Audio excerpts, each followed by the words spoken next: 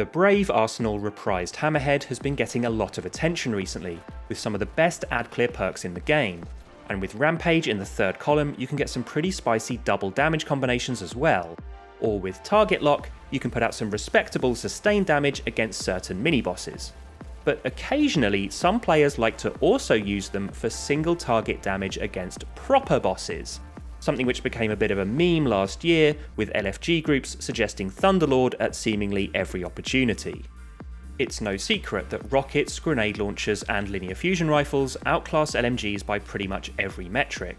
But because of conversations around Hammerhead, I've recently seen more established YouTubers asking players to stop using them. For good reasons. Mainly because glitches causing Retrofit Escapade to spam volatile explosions, and Thunderlord lightning strikes to proc more often from a Divinity cage have left some players with a lingering memory of when LMGs were much stronger options than intended. But both those glitches got patched out over a year ago, and against bosses today, LMGs just don't hold up against other heavies. Except, in this recent discourse, I find it weird that no one's talking about the one boss we fought in the last year after those glitches were patched where a machine gun was one of, if not the, best choice for the encounter the Wicked Implement Tormentor boss. This guy had a ton of health, a long damage phase, and was extremely aggressive getting right up in players' faces. Explosive weapons therefore became very risky, and alongside linears ran out of ammo well before the phase was over. But pairing one divinity with two retrofit escapades was a casual one phase.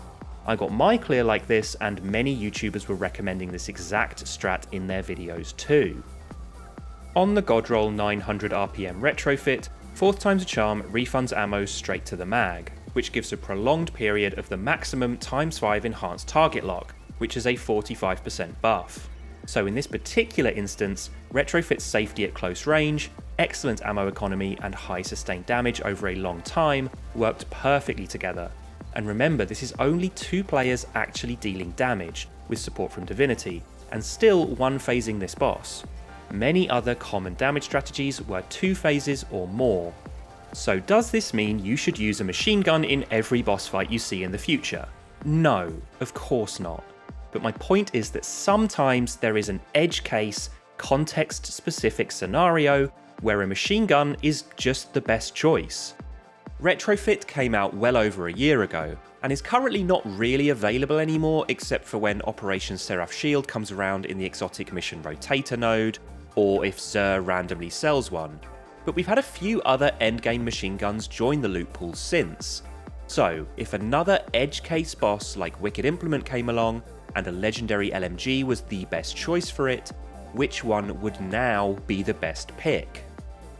And I'm just going to spoil the end of the video here and tell you right now, it's still retrofit. Sorry about that. But if you don't have retrofit, keep watching and I'll show you exactly what to have on standby and why. I spent a long time testing many different options against the Harpy boss in Spire of the Watcher. Base damage values with a boss spec mod, no buffs, debuffs, surges or artifact mods, just to keep things simple. Plus, I tested some of the best linears currently available for the sake of comparison, which I'll show at the end of the video as well. First, a few notes. Target Lock is the best single target machine gun damage perk, and because it is heavily weighted towards rounds at the end of the mag, by increasing the mag size and using effects which overfill it even further, you increase its damage significantly. Therefore, in all these tests, I use extended mag for the largest base mag possible. Many players avoid this due to the reload speed penalty, but for example with double void loader mods on your arms, Hammerhead's extended mag reload is 4.1 seconds, and appended mag is still 3.8. That's a difference of only 0.3 seconds, so I promise you it's worth it for the added damage.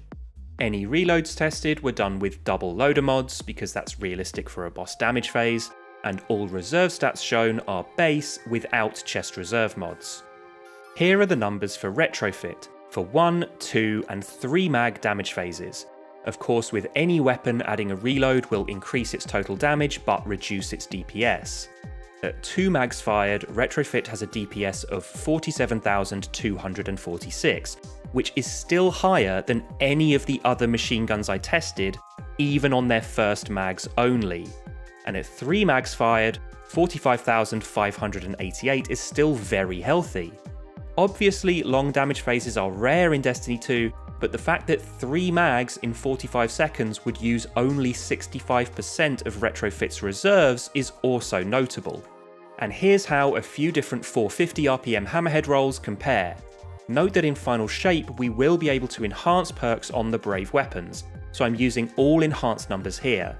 I spent a long time analysing the differences between regular and enhanced perks to be able to accurately predict these numbers.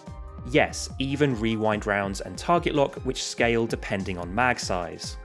And as you can see, the same 4th times target lock roll is just generally worse than on retrofit.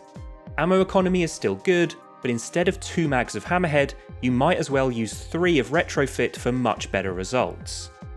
Envious Assassin fully procced for a 300% mag gives us very similar results to 2 mags of retrofit in time, total damage and DPS, and if you reload for a second mag, it will have no overflow effect active, so no target lock times 5 bullets. Rewind rounds is kind of a middle ground between fourth times and envious, but what I like about rewind rounds is not only does it proc on every mag, not requiring any setup, but it's also quite forgiving as it procs on any hit, even body shots, whereas fourth times requires crits. Plus, the enhanced version refills more ammo on each proc, allowing it to proc a third time, whereas standard rewind rounds only procs twice, so the effective mag size increase is much larger. Both Envious and Rewind are not great on ammo economy though, especially as Hammerhead has quite low reserves, so if you're not running chest reserve mods, the second mag with Rewind rounds isn't even a full reload. However, Song of Ir from Crota's End is also a 450 RPM with target lock, and is craftable for enhanced perks, plus its base reserves are higher than Hammerhead, 342 versus 317. But its magazine size with extended mag is only 70 compared to 73, so Rewind Rounds gets a full reload on the second mag. I also tested Song of Ir with Reconstruction, which gives okay DPS on the first mag, but as following mags will have very little recon applied, only 7 extra shots after the reload, it quickly falls off a cliff. You can also get bait and switch on Song of Ir but as it takes so long to empty the mag, the time spent constantly reprocking it makes it not suitable for sustained damage. So in conclusion, if we get another very unusual boss where an LMG is preferred, then you still want to use Retrofit as first choice. But if you don't have one, I'd try to get either a 4th times a charm target lock hammerhead with extended mag as your ammo economy option ready to be enhanced in final shape, or craft an enhanced rewind rounds enhanced target lock Song of Yurt for slightly better damage. I also tested three legendary linear fusion rifles as they are also precision based non-explosive heavy weapons to see how they'd compare. Interestingly, Cataclysmic, which used to be everyone's go-to linear in the year of Witch Queen, performs really badly compared to all three machine gun rolls I just highlighted. All linears received a 15% nerf at the start of Lightfall, and it received an additional indirect nerf from bait and switch going from 35% down to 30%. Plus, 3 burst linears have since become more prominent with higher base damage and good damage perks of their own. Fourth time's a charm does help with ammo economy, but having to spend time reprocking bait and switch before the first mag and after each reload lowers its DPS significantly, I'm including it here just to point out that if anyone watching this is still skeptical about LMGs being used for boss damage in any scenario, ask yourself if you're still using Cataclysmic occasionally for the same purpose, which is now just objectively worse. Maybe if you pair it with Witherhoard, Izanagi's, or an auto-loading special GL to squeeze more damage out of the bait reprocs, it might be viable, but personally I'm just going to use one of these other linears instead. Briar's Contempt with Rewind rounds and Focused Fury performs similarly to 2 mags of Retrofit, but slightly outperforms it. However, that does use all of its base reserves. If using chest reserve mods, however, it would widen that gap considerably as the second mag would fire 11 rather than only 7. And finally, Doomed Petitioner, the craftable 3 burst linear from this season, is probably the best linear in the game right now.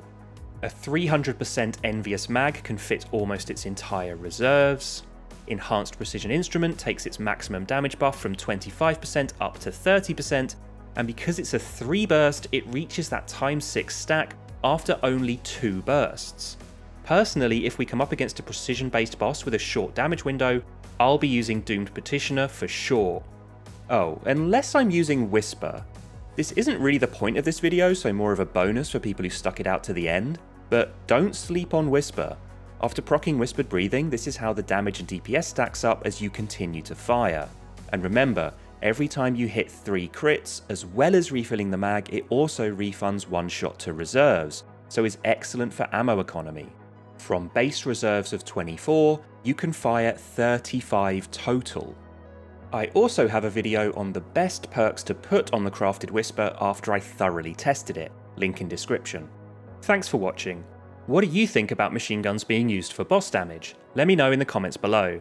And if you one-phased the Wicked Implement boss with something other than retrofit, let me know as well because I'm genuinely curious what alternative loadouts are effective there.